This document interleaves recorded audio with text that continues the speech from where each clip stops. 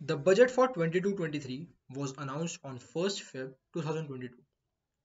Finance Minister Nirmala Sitharaman specified the launch of Advanced Skill and Business Ecosystem e-portal known as Desh Stack e-portal which can assist in training, upgrading and improving skills, thus playing a gigantic role in carefully empowering the citizens.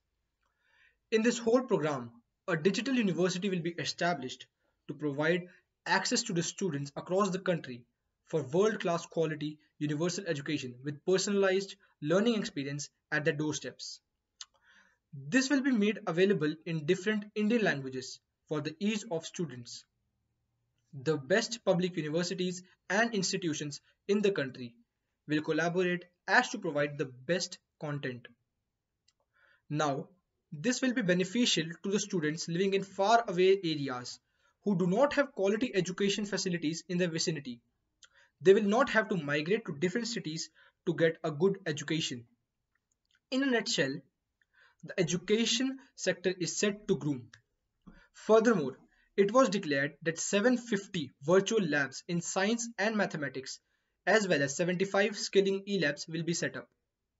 A major stress is being laid on skilling, reskilling and upskilling of the workforce. In fact, the DESH in Desh Stack e-portal stands for Digital Eco Ecosystem for Skilling and Livelihood.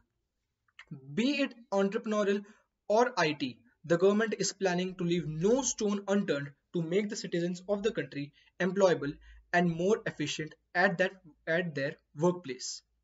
This scheme propounded by the finance minister is lucrative and applauded by all the sections of the society but if we dig deeper into the stats and ground reality, we'll get to know that a lot of prerequisites are to be accomplished for the success of the scheme.